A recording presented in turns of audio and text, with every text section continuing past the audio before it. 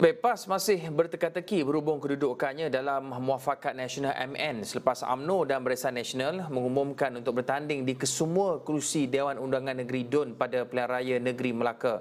Sebaliknya, Presiden PAS Datuk Seri Abdul Hadi Awang berkata, pendirian AMNO mungkin berubah. AMNO dia berubah. Ha? Bahkan masa uh, baru ni pun sebahagian dia parlimen dia sokong permanent jajaran baru. Lepas tu pusing balik mengekalkan Perikatan Nasional. Dia boleh ubah.